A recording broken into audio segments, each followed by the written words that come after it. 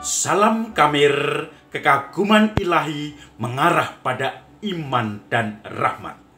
Saudara-saudari yang terkasih, aku mempunyai pedang panjang. Aku seorang kapiten mempunyai pedang panjang. Kalau berjalan prok prok prok, aku seorang kapiten. Saudara-saudari yang terkasih, ada umat Jakarta, yaitu anggota Kor Katedral, mengirimi saya banyak oleh-oleh. Salah satunya adalah pedang komando ini yang saya pakai menjadi alat peraga. Terima kasih. Salam komando. Saudara-saudari yang terkasih, waktu saya kecil, saya pernah bercita-cita menjadi tentara TNI, tentara, kapiten, komandan, perwira, dan dengan pedang keperwiraan atau pedang kehormatan ini yang menjadikan simbol kegagahan. Gagah, tegas, disiplin. Tapi ada teman-teman yang mengejek saya. Kalau kamu jadi tentara, gimana kamu bisa perang? Karena ketika musuh mengejar kamu, mau menembak kamu, kamu harus sembunyi. Ketika kamu sembunyi, perutmu kelihatan karena perutmu besar, maka musuhmu akan menembak perutmu. Dor! Perutnya bocor. Karena perut tidak bisa disembunyikan. Kepala, muka boleh sembunyi, tapi perutnya menonjol ke depan. Maka saya tidak layak untuk menjadi tentara. Saudara-saudari yang terkasih, tentara identik dengan disiplin, perwira identik dengan orang yang tegas, bahkan terkesan angker. Tetapi ada juga tentara seorang perwira yang dekat dengan anak buahnya. Kita mengenal banyak jenderal-jenderal di Indonesia ini yang memperhatikan anak buahnya. Dari cerita-cerita buku biografi mereka, kita bisa tahu bahwa ada komandan seperti uh, Pak Beni Murdani ketika akan membebaskan Sandra di pesawat Garuda yang dibajak pada waktu itu. Seorang jenderal turun langsung sehingga anak buahnya tidak bisa menolak dan tahu-tahu sudah di bandara detik-detik mau operasi terjadi, maka orang menganggap Pak Beni adalah dekat dengan anak buahnya. Saudara-saudari yang terkasih, Injil hari ini juga berbicara tentang seorang perwira. Ketika Yesus sedang berjalan-jalan di Kapernaum, kemudian Yesus bertemu dengan para tua-tua orang-orang Yahudi mereka dititipi pesan oleh seorang perwira di Kapernaum itu. Perwira yang dekat dengan orang-orang Yahudi, yang dekat dengan tua-tua, yang banyak membantu orang-orang di situ. Walaupun dia orang Romawi, tetapi dia ternyata dekat dengan orang-orang Yahudi yang pada waktu itu merasakan bantuannya. Perwira itu mengatakan, "Hambaku sakit minta tolong kepada Yesus supaya menyembuhkan hambaku yang sakit itu. Lalu para tua-tua, pejabat-pejabat orang-orang Yahudi datang menemui Yesus.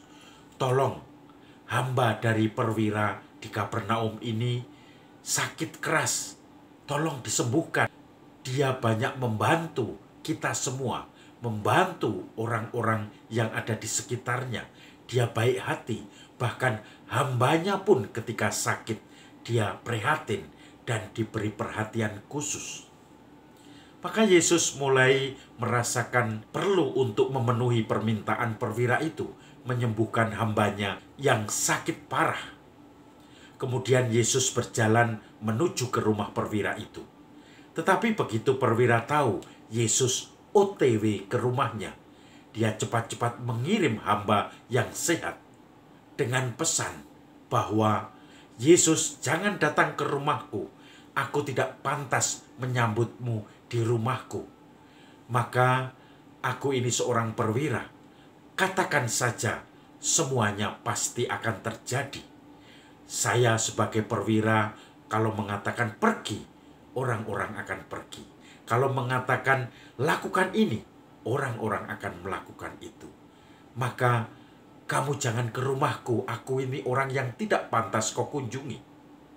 Maka heranlah Yesus, surprise bagi dia. Dia belum sampai rumah dan mengatakan kepada orang banyak, saya belum pernah menjumpai iman sebesar ini di antara kalian orang-orang Yahudi. Kemudian Yesus pun menyembuhkan, sembuhlah hamba itu dari sakit kerasnya. Maka Kemudian ketika utusan-utusan itu pulang ke rumah, dia mendapati hamba yang sakit parah itu sudah sembuh, sudah sehat, dan mereka pun percaya. Saudara-saudari yang terkasih, Yesus mengatakan, "Tidak pernah aku lihat iman sebesar ini." Saya teringat pada kisah seorang mahasiswa tahun 2007 saya mendampingi mahasiswa di UNS Solo dan saya bekerja atau ditugaskan di Wisma Mahasiswa Solo. Saya menemani mereka. Suatu saat pada waktu itu gereja merayakan Sentesimus Anus dan menunjukkan bahwa ini karya sosial gereja. Gereja juga mencoba merayakan secara besar-besaran Hari Bumi. Maka Wisma Mahasiswa Solo pada waktu itu juga merayakan Hari Bumi. Mahasiswa-mahasiswanya menjadi orang yang terdepan dalam kepanitiaan. Bahkan kami mengadakan panggung terbuka di alun-alun di mana waktu itu banyak bencong-bencong pelacur-pelacur yang ada di situ. Untuk memberikan simbol, gereja juga hadir untuk menyelamatkan mereka semua, untuk berkarya di tengah-tengah mereka, memberi harapan di tengah mereka. Maka saudara-saudari yang terkasih, waktu itu ada ketoprak lesung, bahkan Pak Rudi sebagai wali kota juga hadir memberikan sambutan. Dan yang menarik adalah ini kerja besar. Tiga hari acaranya berturut-turut. Saya hanya memodali satu juta dan acara tiga hari ini habis 30 juta karena anak-anak mahasiswa-mahasiswi, anak-anak muda ini kreatif untuk mencari dana, untuk membuat kegiatan yang menarik dan mengesankan banyak orang. Di antara kerja keras itu ada seorang yang sebetulnya diremehkan oleh teman-temannya. Namanya bahkan menjadi bulian, yaitu sering dipanggil krete Krete itu adalah anak buaya. Maka dia yang badannya kurus, yang kalau diajak ngomong tidak konsentrasi, bahkan kadang-kadang salah sambung cara nanggapinya yang tidak pernah diperhatikan. Tetapi dia ahli di bidang korel pada waktu itu, program, dan dia diberi tugas membuat desain. Karena tiga acara besar, maka desain itu juga banyak dan bermacam-macam. Ada pameran lukisan, ada pentas seni, dan juga ada karya sosial pada waktu itu. Maka saudara-saudari yang terkasih, anak muda, mahasiswa yang tidak disangka-sangka itu, yang kadang bisa tell me kalau diajak ngomong tidak nangkep, tetapi dia justru menunjukkan komitmennya sampai akhir, sampai lembur-lembur dia membuat desain-desain yang rumit yang bagi saya waktu itu juga tidak paham tentang korel itu juga dia juga itu dia bisa membuat program itu. Detail bagus. Ada empat atau lima desain yang dia buat untuk rangkaian acara itu. Maka saudara-saudari yang terkasih orang-orang menjadi heran. Mahasiswa-mahasiswa lain juga yang sering membuli dia juga heran. Ternyata dia orang yang komitmen, orang yang sering diledek, dibully, dipanggil krete anak buaya yang tidak ada harganya. Tetapi ternyata dia menyelesaikan tugasnya. Semuanya beres. semuanya tepat waktu dan akhirnya bisa dinikmati oleh banyak orang.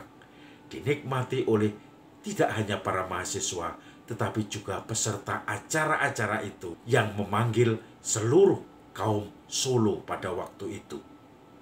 Maka saudara-saudari yang terkasih, kadang-kadang orang menyepelekan perwira itu.